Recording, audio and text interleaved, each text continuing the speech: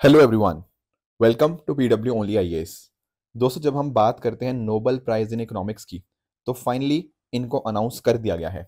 यहाँ पर आप नोटिस कर पाओगे कि तीन person Darren Simon and James इन तीनों को इस बार का नोबल प्राइज इन इकोनॉमिक्स यहाँ पे दिया गया है।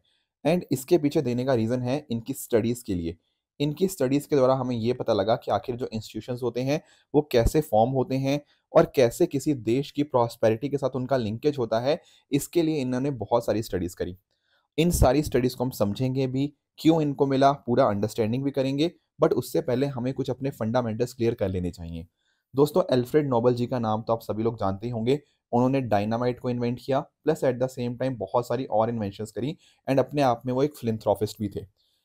1896 के अंदर जब उनकी डेथ होती है ना तो उससे डेथ से पहले उन्होंने अपनी डेथ विल के अंदर मेंशन किया कि जो पाँच प्राइजेस हैं that is peace literature chemistry physics और मेडिसिन इन चीज़ों के अंदर जो बड़ी बड़ी इन्वेंशन होती हैं, उनके लिए प्राइजेस दिए जाने चाहिए।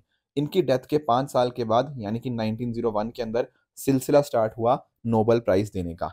उस समय जब स्टार्ट हुआ तो सिर्फ़ पाँच ही फील्ड्स के लिए नोबल प्राइज दिया जाता था। बट जब आता है ईयर 1968 उस समय डिसाइड किया जाता है कि नहीं इकोनॉमिक्स भी इसके अंदर ऐड हो जाना चाहिए। तो 1968 के अंदर ये डिसाइड होता है एंड फिर उसके अगले साल, यानी कि 1969 से इकोनॉमिक्स के अंदर भी आपका नोबल प्राइज दिया जाने लग गया। अब देखो ये जो पाँच ओरिजिनल जो थे, इनके लिए जो पैसा दिया जाता है, यानी कि प्राइजेस दिया जाता है, वो तो पैसा नोबल फाउंडेशन से ही दिया जाता है। पर अगर मैं बात करूँ इकोनॉमिक्स के प्राइस की तो दरअसल में जो आपका स्विट्जरलैंड का बैंक है राइट स्वर्गिस जो रिस्क बैंक है राइट उसके द्वारा यहाँ पर ये अवार्ड इकोनॉमिक्स का दिया जाता है एंड उनके द्वारा ही जो भी आपका प्राइज होता है, वो आपका अवार्ड आपका यही बैंक यहाँ पे देता है। बाकी आप नोबल प्राइज की पूरी हिस्ट्री तो जानते ही होंगे, ठीक है, कि किस तरह से अल्फ्रेड नोबल जी की डेथ हुई एंड अकॉर्डिंगली बाद में ये प्राइजेस स्टार्ट हुए। अब आते हैं मेन मुद्दे के ऊपर कि आखिर इन तीनों की क्या ऐसी स्टडीज़ थी जहाँ पर ये दिया गया। Right right. बाकी एक चीज़ मैं आपको और बता दूँ, आप नोटिस करोगे कि जो नोबेल प्राइज है ना वो मेजरली इस बार जैसे तीनों को दिया गया है, वो तीनों मेल पर्सन है। इकोनॉमिक्स की फ़ील्ड के अंदर ना आपको फीमेल बहुत ही कम देखने को मिलेंगी। अभी तक आप नोटिस कर पाओगे कि 50 साल से ज़्यादा टाइम हो चुका है इकोनॉमिक्स के नोबल नोबल प्राइज को स्टार्ट हुए। एंड इसमें सिर्फ़ तीन महिलाओं को अभी तक नोबल प्राइज दिया गया है, जिनमें पहली थी एलिनोर ऑस्ट्रोम दूसरी थी एस्थर डफलो, इनका आपने नाम सुना होगा, अभिजीत बैनर्जी की जो वाइफ है। एंड लास्टली पिछले साल जो मिला था, वो मिला था क्लोडिया गोल्डिन जी को। तो सिर्फ़ तीन महिलाओं को अभी तक इकोनॉमिक्स का नोबेल प्राइज यहाँ पे हमें देखने को मिल जाएगा। अब बात करें इनके वर्क की, कि इस बार जो तीन लोगों को मिला है, उनका क्या वर्क रहा? इन्होंने दरअसल में ना दुनिया भर में स्टडीज़ करी। एंड इन्होंने ये पाया कि जब यूरोपियंस ने अलग अलग देशों को कोलोनाइज करना स्टार्ट किया ना उसके साथ ही यहाँ पर इन सोसाइटीज के अंदर जो इंस्टीट्यूशन हैं, उनमें बदलाव आया। जैसे फॉर एग्ज़ाम्पल दुनिया में कुछ देश ऐसे इनको मिले जहाँ पर ना इंस्टीट्यूशंस को बनाया गया था, पर उन इंस्टीट्यूशंस को बनाने का पर्पस ये था कि वहाँ के जो आम लोग हैं, उनको एक्सप्लॉयट किया जा पाए एंड साथ ही साथ वहाँ पर जो भी रिसोर्सेज हैं, उनको अपने बेनिफिट के लिए यूज़ किया जा पाए। जैसे हम कई बार भारत की भी बात करते हैं ना कि भारत के अंदर कॉलोनाइजर्स आए थे, उन्होंने कहीं ना कहीं भारत जो एक सोने की चिड़िया थी वहाँ से पैसा एक्सट्रैक्ट किया। ड्रेन ऑफ़ वेल्थ थ्योरी के बारे में आप सब लोग जानते होंगे। एंड इंडिया के अंदर एक डी इंडस्ट्रियलाइजेशन का प्रोसेस स्टार्ट हुआ। तो एक तो था ये तरीका। जहाँ पर कॉलोनाइजर्स आए, उन्होंने उस देश को यहाँ पर तबाह कर दिया। दूसरे कुछ ऐसी जगहें भी थी जहाँ पर कॉलोनाइजर्स के द्वारा एक अच्छा inclusive political and economic system बनाया गया, जिससे कहीं ना कहीं आपका जो लॉन्ग टर्म बेनिफिट था ना, उसको यहाँ पे ध्यान में रखा गया। तो दो तरह के यहाँ पे इंस्टीट्यूशन हमें यहाँ पे फॉर्म होते हुए देखने को मिल जाते हैं। तो पहली बात तो ये कि इंस्टीट्यूशन के फॉर्मिंग का रीजन क्या देखने को मिला? यूरोपियंस के द्वारा कोलोनाइज किया जाना दुनिया की अलग अलग कंट्रीज़ को। जिस हिसाब से इंस्टीट्यूशन बनाए गए थे, उस हिसाब से उनका फ्यूचर हमें देखने को मिला। ऐसा देखा गया कि कुछ ऐसी कॉलोनीज थी जो अपने आप में काफ़ी अमीर थी, पर क्योंकि वहाँ पर ढंग के इंस्टीट्यूशन नहीं थे, वो समय के साथ गरीब होते रही। अब आपके दिमाग में आएगा, यार, ये कौन सी इंस्टीट्यूशन की बात हो रही है? देखो इंस्टीट्यूशन बहुत सारे हो सकते हैं। जैसे अगर हम बात करते हैं भारत की तो भारत के अंदर इलेक्शन कमीशन ऑफ़ इंडिया देखने को मिल जाएगा। भारत के अंदर रिज़र्व बैंक ऑफ़ इंडिया देखने को मिल जाएगा। इस तरह से भारत के अंदर करप्शन के कॉरस्पॉन्डिंग विंग्स हैं। तो ये जो सारे आपके संस्थाएँ होती हैं, सारे इंस्टीट्यूशन होते हैं, इन्हीं इंस्टीट्यूशन की बात होती है। जैसे अगर हम बात करें तो भारत के अंदर आज फ्री एंड फेयर इलेक्शन करवाए जाते हैं। वेरस अगर हम बात करें चाइना के अंदर उतना हमें प्रोसेस नहीं देखने को मिलता, काफ़ी सारे और कंट्रीज़ के अंदर नहीं देखने को मिलता। कहीं ना कहीं ये जो इंस्टीट्यूशंस ही होते हैं, वो डिटर्मिन करते हैं कि कैसे समय के साथ रिसोर्सेज को यूटिलाइजेशन किया जाता है। तो ऐसा इन्होंने नोटिस किया कि तीन ऐसे कंपोनेंट्स हैं, किस तरह से पॉलिटिकल इंस्टीट्यूशंस फॉर्म्स होते हैं, समय के साथ चेंजेस आते हैं।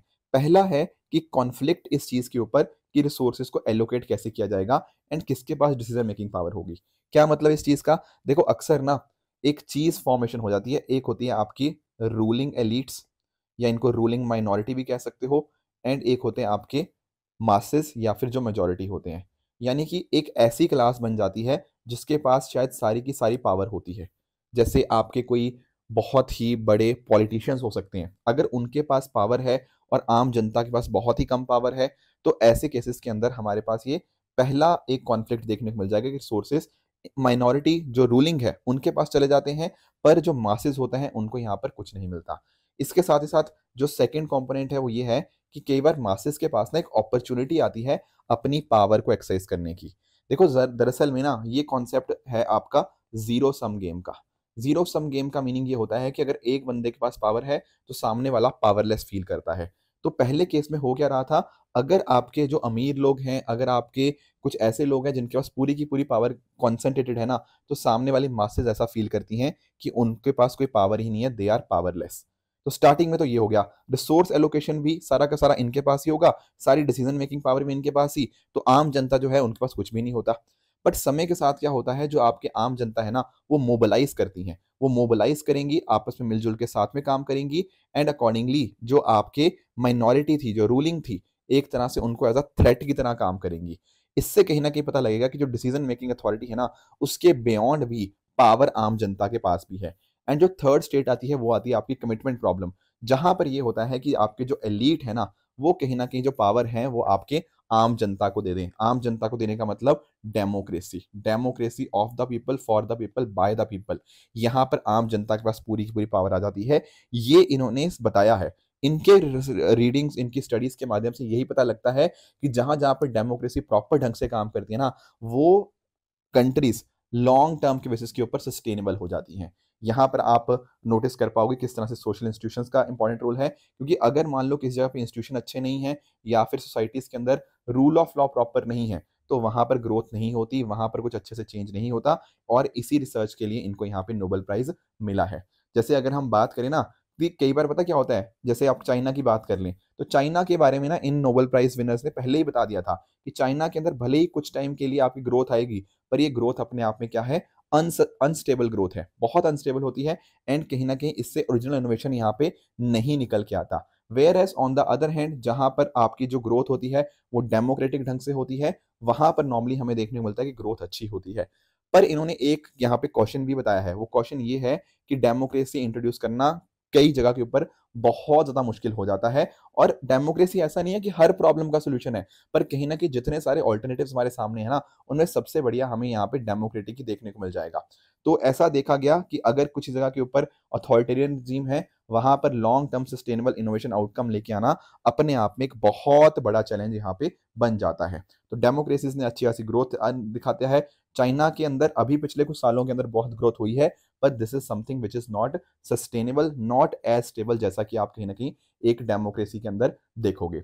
बहुत सारे सर्वेज वगैरह यहाँ पे हुए हैं, पर ये तो इन्होंने बता दिया कि डेमोक्रेसी के अंदर ग्रोथ ज़्यादा सस्टेनेबल है, ज़्यादा लंबे समय तक रहेगी। एंड कहीं ना कहीं जैसे आपके जो आम जनता है, जो मेजोरिटी लोग हैं अगर उनके पास पावर होगा तो कहीं ना कहीं वही सबसे बढ़िया चीज़ है। बिकॉज़ अदरवाइज़ अगर कुछ एक जो रूलिंग क्लास है, सारी की सारी पावर उसके पास होगी ना तो उससे आम जनता को नुकसान ही होगा। तो जिस दिन आम जनता के पास पावर आ जाती है ना तो वो एक वेरिएबल सम गेम की तरह पावर कंट्रोड्यूस करती है कि यानी कि सब लोग वहाँ पर पावरफुल हो जाते हैं, आम जनता भी वहाँ पर पावरफुल हो जाती है।